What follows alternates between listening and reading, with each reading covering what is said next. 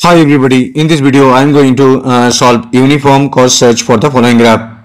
Uh, uniform uniform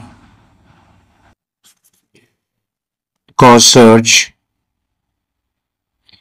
is an uninformed search. Uninformed search.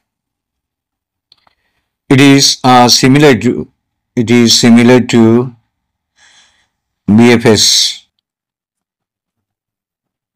but uh, it always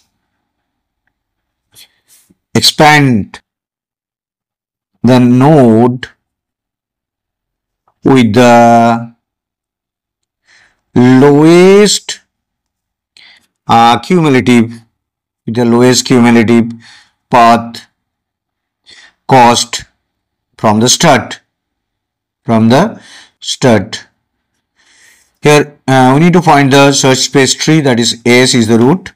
Then we can move S to A or S to D. From A we can move A to B. From B we can move either C or uh, we can move to G. From C we need there is only one path that is G. From D there is a path that is G. S is considered as 0 as it is a starting node. From S to A cost is uh, 0 plus 1 1. From A to B uh, 1 plus 3 that is 4. From B to C 4 plus 1 5.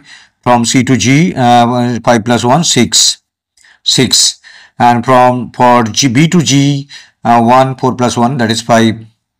From S to D uh, from S to D that is 5 and from D to G 5 plus 1 6 so these are the cumulative cost here. Now the lowest uh, lowest cumulative cost uh, lowest cumulative uh, cost from the from the search space tree from the search space tree is here uh, lowest cumulative cost is uh, from starting to G these are 5 6 and 6 so minimum is 5 so the path is is to A a to B and B to G.